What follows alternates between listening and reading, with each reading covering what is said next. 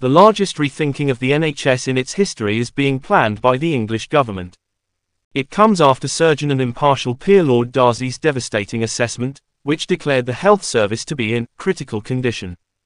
According to the Prime Minister, three ideas will form the foundation of the new 10-year plan, increasing the use of digital technologies, placing a stronger focus on community care, and preventing illness in the first place.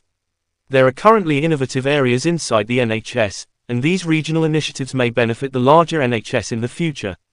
Examinations and scanning in shopping malls. Approximately 2.5 million tests and scans, including those for heart disease and cancer, are performed by the NHS each month. The National Health Service NHS, has been finding it difficult to perform diagnostic tests fast enough due to outdated or scarce equipment, patient access issues at certain institutions, and other factors. Over 25% of patients are waiting longer than the six-week target period. New centres in neighbourhood areas, such as one in Barnsley's The Glass Works shopping centre, have been one option.